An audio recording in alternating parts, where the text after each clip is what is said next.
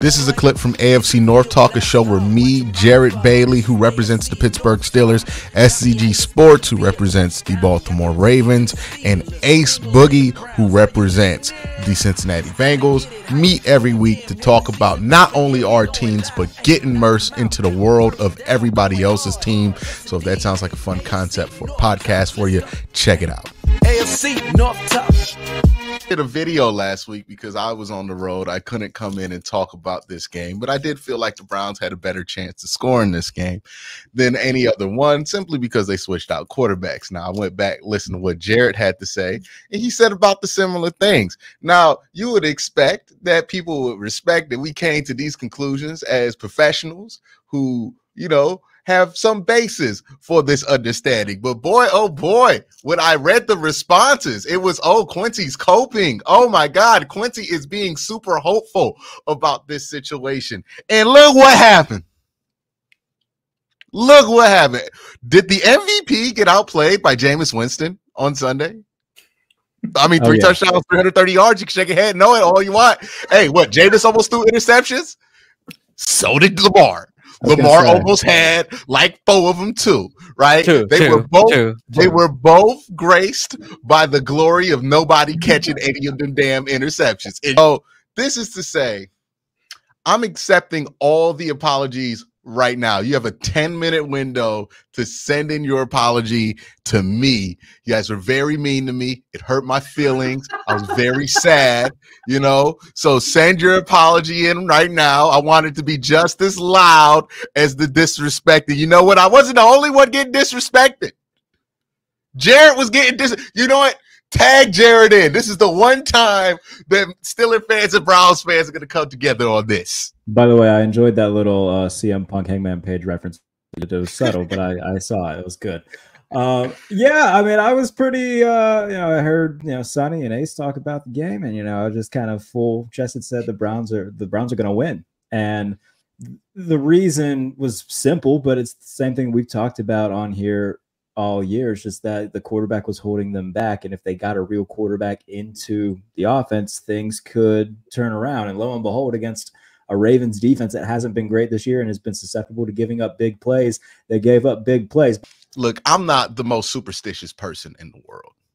I'm not the most spiritual person in the world but we got to acknowledge how things just magically start bouncing our way once Deshaun Watson ain't in there at quarterback anymore. Like we got incredible luck in that game. He did exactly what you expected him to do. He put the ball downfield. He gave guys opportunities to make plays. I make this joke all the time about Jameis. Jameis gonna give every all 22 players on the field a chance to win the game, right? Like that's what Jameis gonna do. Everybody's gonna have a chance to make a play when Jameis is out there. So, and Jameis did exactly that. He gave David Njoku a chance to make a play on Eddie Jackson's back there in the end zone. Same thing happened at the end of the game with Cedric Tillman, who just Eddie Jackson can't be out there anymore for the Ravens. Like I, I think that part is obvious. I don't know why he's still out there. He's bad, bad. But yeah, I feel much better about the Browns. That was the funnest Browns game to watch all season. And it's crazy how just changing the quarterback, it felt like watching the game from 2023. Like I swear to you, these 2024 games have felt so lackadaisical from the start. And in this game starts, I'm like, oh no, it seems like everybody's excited to play. And I know everybody in that locker room defended Deshaun Watson to the death after he got booed um, on his way out. But y'all lying. Y'all lying, dog, because I could tell y'all were more excited for this game this week. Like, couldn't you just see it tangibly when you were watching the Browns? Yep. I saw Elijah Moore catch a one-handed ball this week. he ain't done nothing like that all season. Now, Jerry Jeudy was running really hard. Like yeah. I it, it seemed like they had a better uh better confidence of what they were able to do and execute this week in practice versus what they've seen with the shot. And Qu- question that I have in that in that case, Q is do you think the team now looks at Stefanski sus? Because we talk about this, how Stefanski said we had the guy that gives us the better chance playing, right? I, I, that was an exact word, is a phrase, right? And you see Jameis Winston playing and actually giving you a chance winning the game if you're the team, you're like, but and, and, Kevin not calling plays either in this game, so it was a two well, right? I think there's two things here. There's three things here. One, because there's so much time left in the season, mm-hmm. I don't think that's immediately where players' minds go. Okay. which is they're still thinking we can still make the playoffs, right? So Okay. he's going to dodge that bullet just because of that. I also think optically, now I don't think this is true, but the optics on this from outside looking in is that Kevin Stefanski was handcuffed and, and had to start Deshaun Watson, right? And I think that's kind of Got what it, the it. view is with inside the building of the players, at least. I don't think that's true. I think Kevin, if he really wanted to put his foot down, he could have put his foot down and do it, but he kind of just played ball with it. But that's going to be the perception is, hey, well, you could have just mentioned him. He's making two hundred thirty million dollars. Um, players are pretty understanding of the of the money part of the game and how that affects uh, decisions, right? It's kind of like why the locker room wasn't kicking and screaming when Russ got put as a starter because they kind of understood, like, okay, well, he was going to get a chance, right? So, yeah, I don't think the locker room's going to look at him crazy. I think just people in the media are going to look at him crazy. But if he wins enough games, nobody's going to give a fuck at the end of the day. Okay. Anymore, we talk about that a couple weeks. Look, the thing with Diontae Johnson, in my opinion, Jared, I'll I'll let you also speak as I know he played with you guys for a while. When Diontae Johnson's on his game in a game setting, he's he can be really, really good. The problem is there's other games that he can be really, really bad. Um, in the case of Baltimore, you're not trading to just him be the guy, right? He can be our second, third, right? Because the tight ends have been playing better. Mark Andrew has been, been playing better. So you're not bringing him to depend on Diontae Johnson. So I, again, I think the room got better. But Jared, what do you think? No, I mean, I I, I think that I'm a Diontae Johnson guy. I enjoyed you know watching him play and whatnot, but there's a reason why he's been dealt for a bag of buttons twice. And I think it's just because behind the scenes, it's just it can get a little bit ticky tacky. So, by the way, if you want something to really laugh at, uh, the Carolina Panthers uh, in total basically traded two sixth round picks and Donte Jackson, who's got three interceptions for the Steelers, in exchange for eight weeks of Diontae Johnson and the Ravens' fifth round pick. So not Yeah. not the best well run organization over there, but. Um, but I know I think Diontae Johnson obviously gives the Ravens, you know, another option in the offense to uh to you know spread the ball around and make plays. So I think it'll be an overall net positive. And if it's not, then they didn't really give up anything uh to begin with. I I do wonder with this move, right? Like there is a lot of potential for it to work out, I think. Yeah, and it's like what what are we gonna see from him? How's he gonna be happy in Baltimore? Um, look, Lamar is known for getting visually frustrated, visibly frustrated at Yep. these wide receivers. Um, is that going to be something that he reacts well to? Is that going to be a clash of personalities there? And also, like the one thing that seems to drive Lamar crazy is drops, right? Like every time he gets these drops, he loses his mind. And I'm not saying Diontae uh, is just going to drop everything, right? And like he's not going to catch a single thing. Right. But he will But will there drop There will one. be a time where he drops something, and Lamar is gonna be pissed. And what's gonna happen after that moment is kind of how this trade will be judged. Because I think Jared brings up a good point. Two teams have decided, t- have given up him for here, take it trades. Like here, have Yeah. him.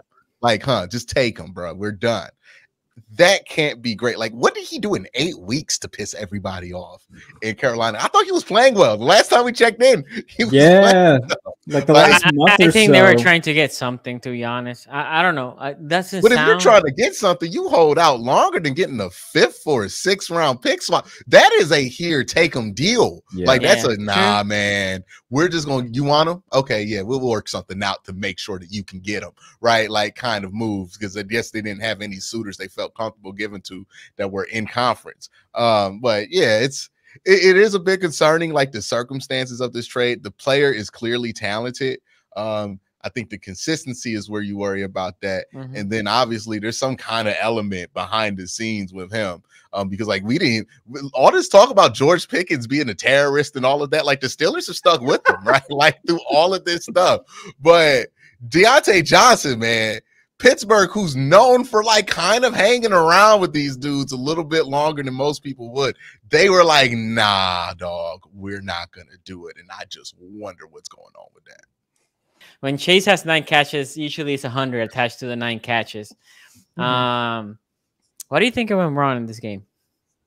Uh, I mean, this game was frustrating to watch because Bengals started the game out on fire. I mean, Mhm. Joe Burrow was going down the field.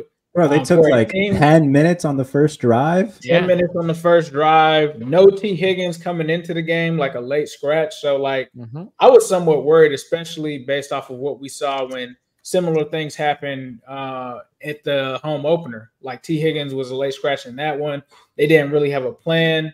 And so with him being out Friday, I'm just like, man, what are they going to do? Because he's been in installs all week. Like, what are they going to pivot to? And I love what Zac Taylor tried to do, at least like on that first drive.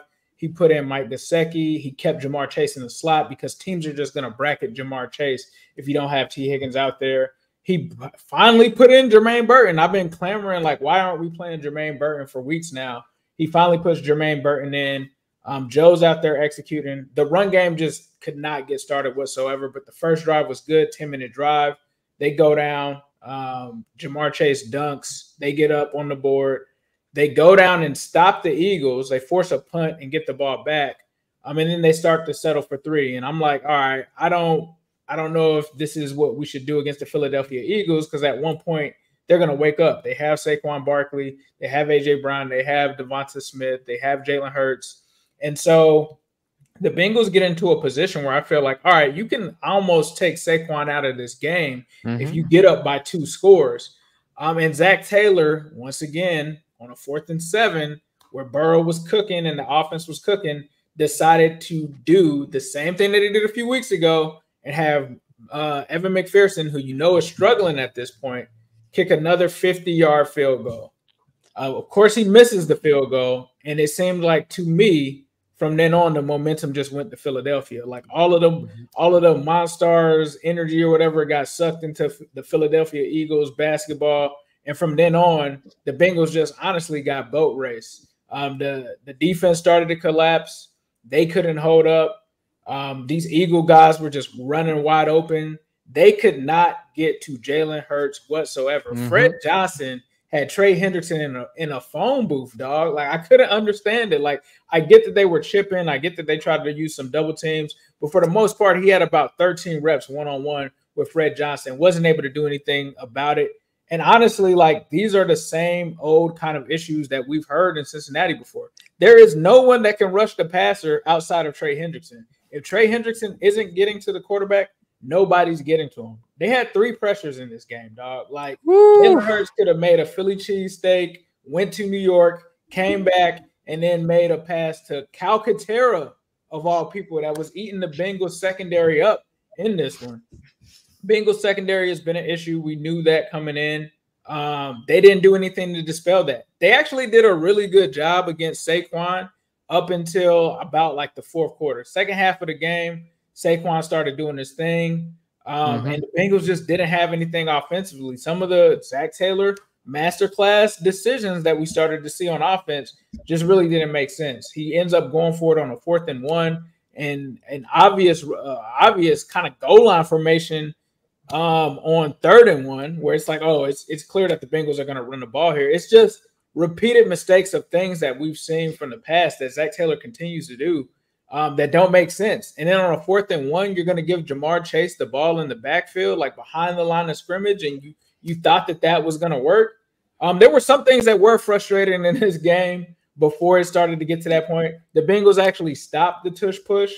I Yep. feel like they stopped it twice. The refs felt different differently, even though they circled like a man's elbow on Yeah. the on the replay, and we're like, clearly. yeah, he got in. I'm like, I guess we're counting elbows now. But I mean, you know, they just got boat raced in the second half, bro. This defense gave up 27 points in the Yeah. second half, and you just can't have that. Joe Burrow did have the interception.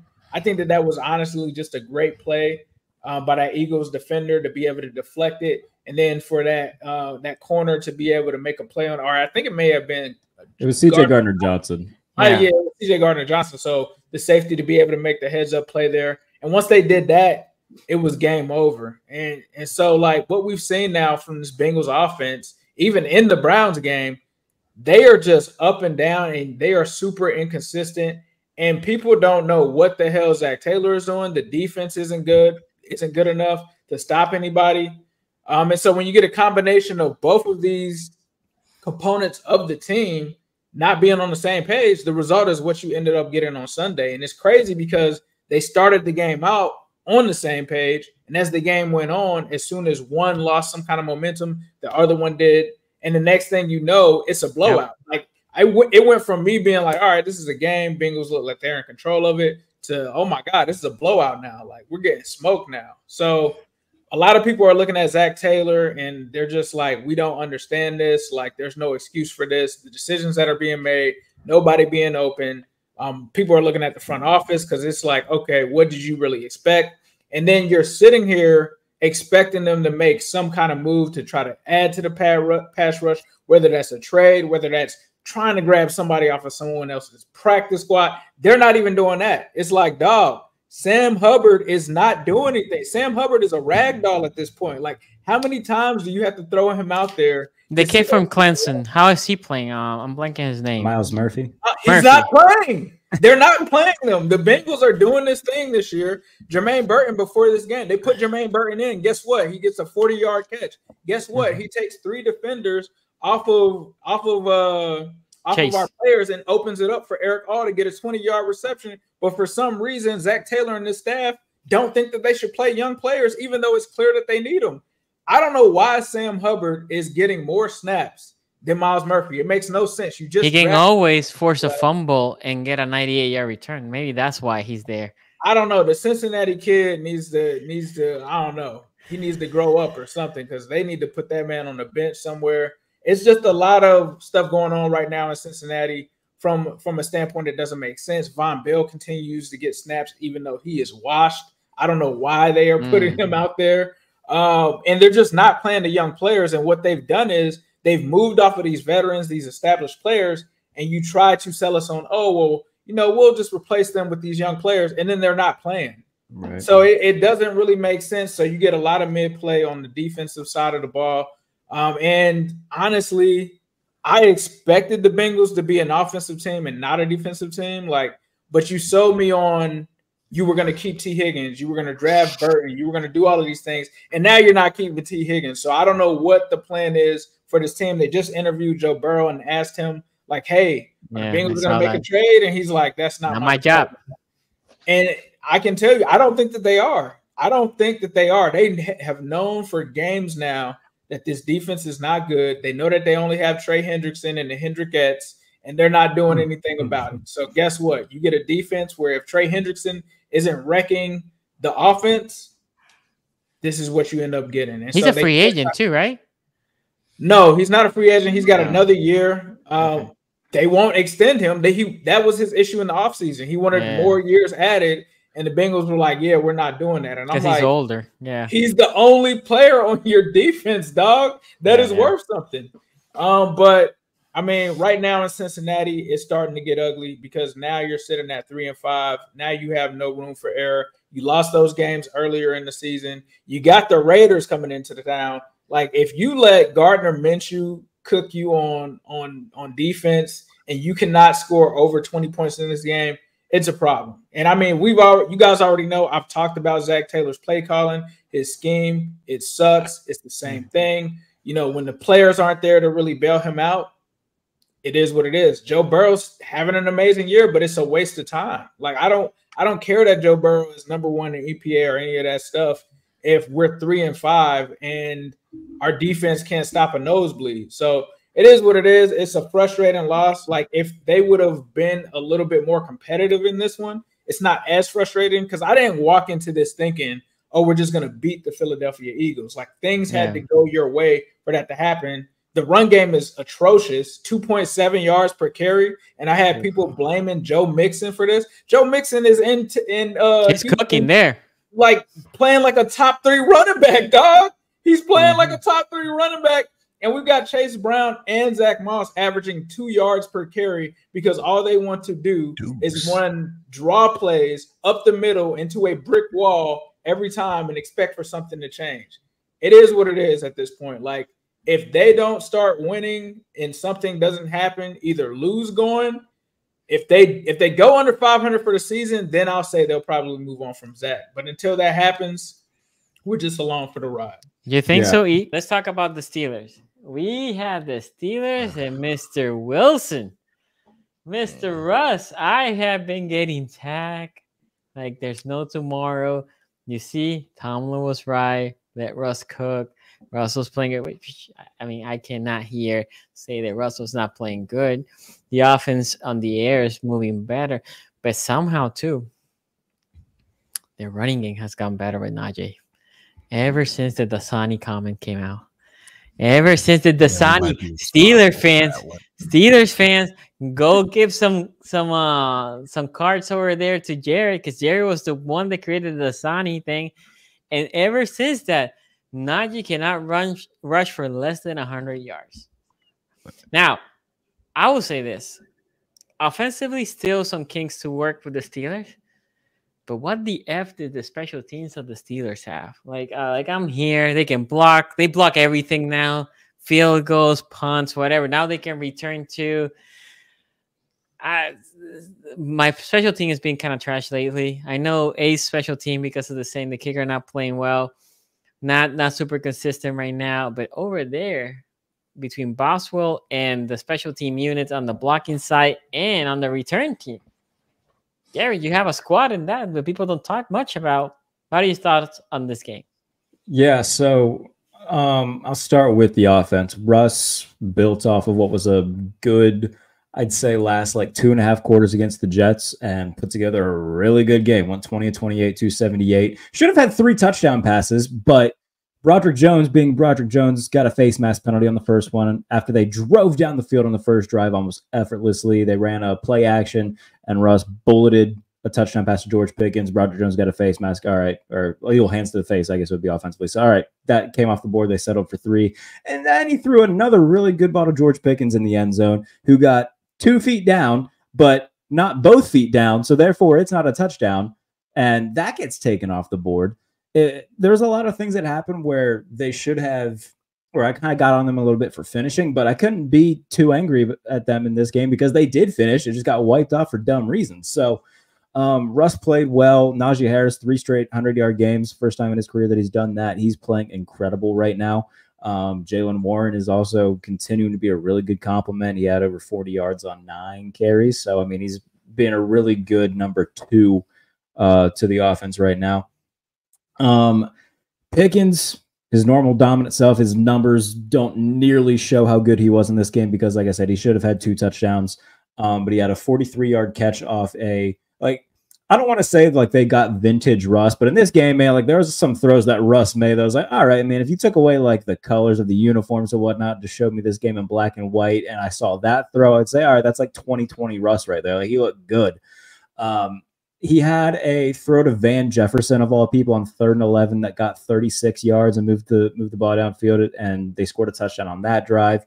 Uh, Calvin Austin had a 29 yard touchdown and a punt return touchdown. So they're starting to get more plays from their playmakers um, in terms of the receiving group stepping up outside uh, of Pickens. Van Jefferson had four catches for 62 yards, by far his best game as a Steeler. Calvin Austin had his best game, the best game of his life, because um, he had the the punt return touchdown and the receiving touchdown. Um, defensively is where I was worried this game uh, afterwards, at least. Going into the game, I thought, all right, defense should eat here. Defense was the Achilles heel of this team on Monday night. They allowed four plays of 25 or more yards. Darius Slayton had two really long catches.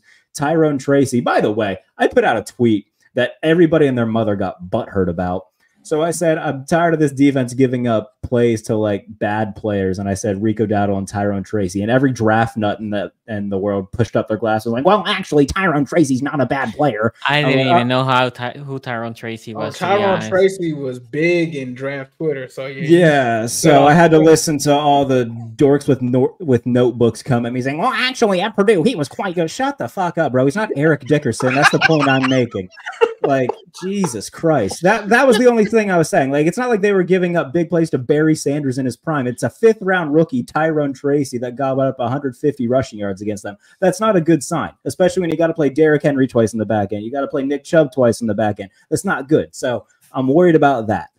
And outside of that, I mean, it was somewhat unimpressive. Uh, TJ Watt had a big game. Alex Highsmith had a big game.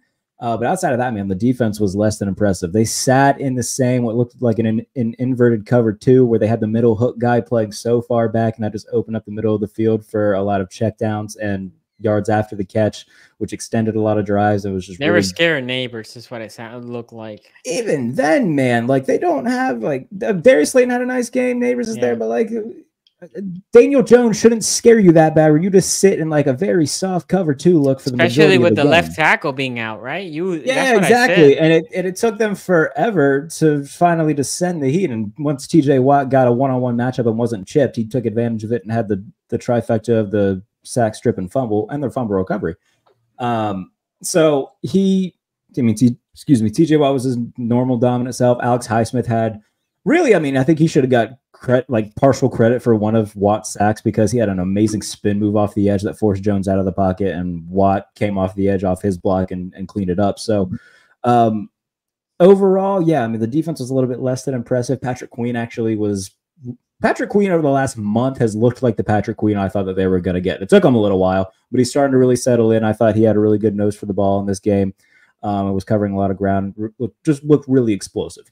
Uh, Beanie Bishop, another interception. That's his third in two games. Pretty sick. Um, they're getting Cameron Sutton back as well after the uh, the bye week. He's done serving his eight game suspension, so they'll get a little bit of a boost in the secondary. Cory Trice should also be coming back. So um, they're six and two. They're leading the division, and they're getting a lot of help and a lot of guys coming back. Nick Herbig should also be back from injury. Zach Frazier's coming back from injury. So uh, overall, man, like I, if you would have told me coming into the season that the Steelers would be six and two at the bye week, I would have been ecstatic, and I am. Um, credit to Russell Wilson who continues to get better. There was multiple times they cut to him and Fields on the sideline, and it, like I tweeted out, I was like present and future, and I don't know if they're going to try to go the avenue of bringing both of them back, but they have more than enough money to do it. None of these guys are going to cost too much, and if you're Justin Fields and you have a chance to go play somewhere else, I totally get if you go and do that and bet on yourself. No hard feelings whatsoever. But I really hope there's a situation where they look at this and say, look, if Russ keeps playing like this, we want to keep him around for a couple more years. But also, Justin, we want you here because we think that you could be kind of the heir apparent. So if there's a way that they can do that, I think that there is because they have a lot of free cap space going into this offseason where they could do it.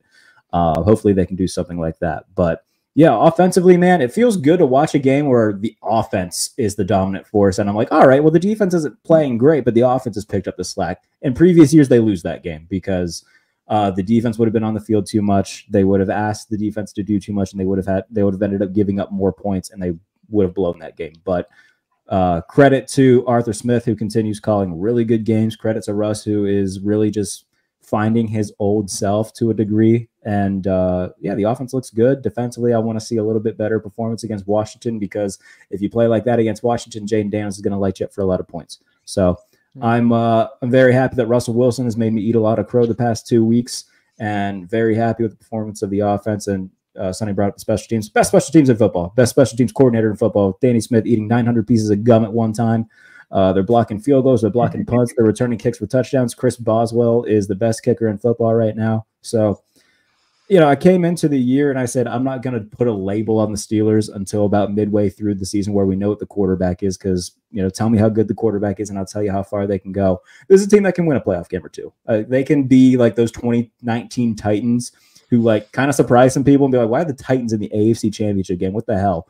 And I think that if the matchups are right, they could have a run like that. I don't think they're a Super Bowl winning caliber team, but I think they can win uh, a playoff game, maybe two, if the matchups are right. And and by the way, who who was the offensive coordinator for that Titans team? Arthur Smith. So a lot of connective tissue there. I feel really good about the Steelers right now. And in terms of you know they're going to have all of their divisional games. I mean, all all four of us are going to see a lot of uh, you know team versus team in the back end of the season because of how the schedule was was played out. Um, so now you're six and two. You can afford to maybe lose a game that that is going to be tougher. You know, they got Kansas City on Christmas. They got Philadelphia. Um, there's going to be a t- couple tough games down the stretch. Obviously, the divisional games, but it it looks like it's just a matter of what seed they'll have in the playoffs right now. Not so much a question of if they'll make it at all. So that's a good spot to be in in week eight. And uh, as a fan, I feel pretty good. Cute. Yeah, I was watching this game and I had this feeling in my stomach. Mm. And halfway, well, not halfway through, I think in the third quarter, I take my glasses off and say to myself, My God, the Steelers are actually good. it's actually happening. They're actually good. This actually worked out for them. Um, yeah, I mean, I watched them. The, the Najee's running really well, and it's not Really like good. fake good. Like it's like no, he's breaking tackle. He looks like Najee did at Alabama, like where he's doing all the extra shit and he's running. He's he's like has more of a burst. Like I don't know. He hurt. what He happened. hurdle man. He, he Yeah, he he's hurt one the like cleanest what hurdles you've ever seen. Maybe like his uh his wear They and tear super finally, like reset and he's got all his attribute points again because like he looks like a different guy out there the last three weeks. I mean, he looks like one of the better running backs in football right now. And I'm not a Najee Harris fan. Like I've, I've always contended he was pretty generic. He does not look generic the last three weeks. Yeah. And this is against a heavy defensive line that you know showed up in this game versus Pittsburgh, right? Dexter Lawrence had a good game in this one. It still didn't matter. Najee was still able to kind of get his. So, and they what they got Bobby Okereke, who I think is a good linebacker too. Like this isn't a shabby defense in New Yeah. York that the Steelers were doing this against, and they could have had way more points, right? The first half, they got nine points off of three. What should have been three touchdown drives um to start this game. That- Pittsburgh's just good. Their defense is good they're not as good as I thought they were at the beginning of the season, but they're still a really solid unit, probably in the top 10 of the league. Um, you know, they have a little bit of whole like of- of questions in the secondary, but other than that, like it's not really like they have bad problems in the secondary. It's not like they they're playing somebody. I'm like, oh man, they don't they don't want to play him, right? It's like, oh, Joey Right. Porter Jr. holds sometimes. Like it's, it's you'll live with those problems. um, and then the George Pickens things. I look, I am never gonna be surprised about the whole George Pickens saga again because this always happens like this. Like right when he's at the breaking point with the team and the Colts are coming out, uh, he needs to get in line. He doesn't change anything behaviorally. He just goes out there and puts together like three 100 yard games out of four or some shit like that. And he's in the middle of doing that. Uh, George Pickens looks incredible. And I thought that him and Russ would pair well. Where I'm surprised in with Russ being out there is that you're having that same level of success with the run game. I thought the run game was going to be affected, but Najee's picked up the slack from not having Justin uh Justin Fields out there being able to run the ball. Nah, man, like this is a good team. I think they're a threat to win a playoff game this year. Um, you know, they're they might win the division. Who knows, right? Baltimore, I still think is the better team, but Pittsburgh right now has the edge because they had the better start to the year. So we'll see how the season ends up for these guys if Russ can still continue playing at these this level. But if this is what they're gonna get, if this is the team that they're gonna be on a regular basis, yeah, man, that that looks like an 11 to 12 win team that's gonna win a playoff game.